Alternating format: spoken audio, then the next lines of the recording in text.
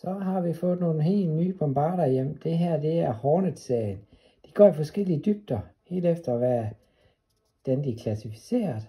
Og de er lavet sådan lidt elastisk materiale, sådan man kan trykke på dem, og så retter de sig selv ud igen.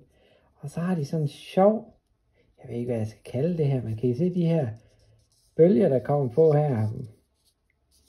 De er, når du trækker den her gennem vandet, så er de her med til at generere noget spektakel i vandet, nogle vibrationer, noget som fisken opfanger, bliver nysgerrig, og så skal den gerne give noget ekstra fisk jo, på den måde. Jeg er lidt spændt på at teste af. Kvaliteten er bedste, jeg har set indtil nu, nogensinde af bombarder, så øh, jeg glæder mig.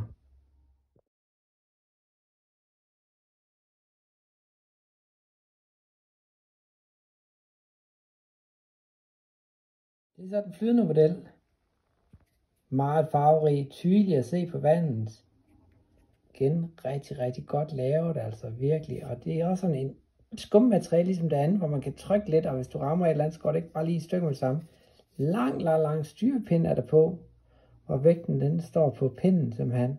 Og igen, så har vi de her sjove riller her, og øh, når du hælder den her ind igennem vandet, skaber den noget spektakel, der skal tiltrække fisken. De bliver nysgerrige og kommer hen og kigger, så skulle jeg bait gerne komme lige bagefter.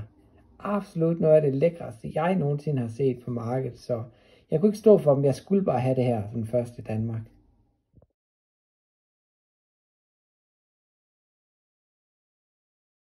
Så er der jumpers. Og de her jumpers, fordi når du kaster ud, og den daler gennem vandet, så springer den rundt ned i vandet, den hopper fra side til side, og når du hælder den ind, der har den også en hoppende, springende bevægelse til det ekstra bevægelse i din arm.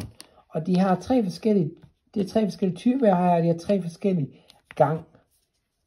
Så øh, der er der nogle billeder og noget mere materiale om, hvordan de bevæger sig i vandet, de her tre, men jeg har aldrig set noget lignende, så tænkte jeg, det skal vi bare have. Vi skal da have noget nyt spændende i Danmark også. Og hvis det virker og fanger fisk, så kan vi ikke undvære det jo.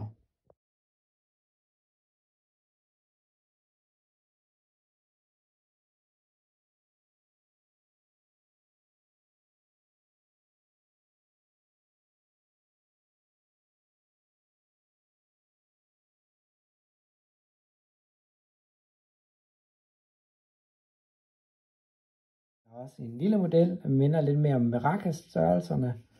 Og øh, der har vi taget to vægtklasser hjem, en 6 og en 10 grams. Igen fuld af de her små sjove riller, der skal lave spektakel i vandet. Flot, tydelig.